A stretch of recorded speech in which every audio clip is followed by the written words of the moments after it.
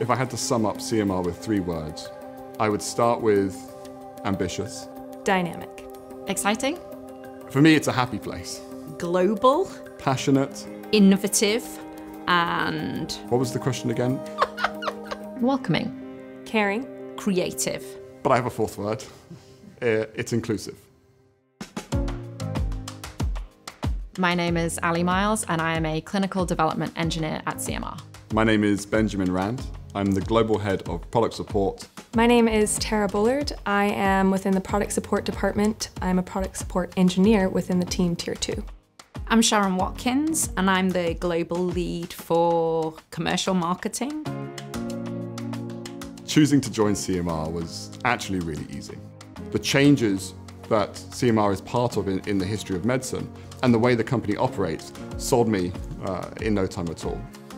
I wanted to feel like the work I was doing was going to a higher cause, as cheesy as that sounds.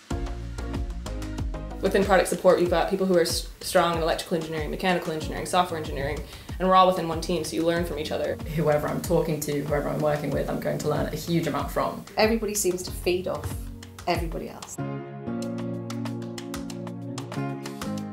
The first opportunity I had to sit by a surgeon as they used the machine, the procedure they were following, and how well it worked, and how much the surgeon enjoyed using it, it, it made everything come real. It's a surgical robot, it's not going to be simple, so there is no limit to what you can learn about it. Global working is standard at CMR. We have teams all across the world. We do a lot of remote calls um, and we're using lots of new technologies to help maintain and to enable us to do training remotely.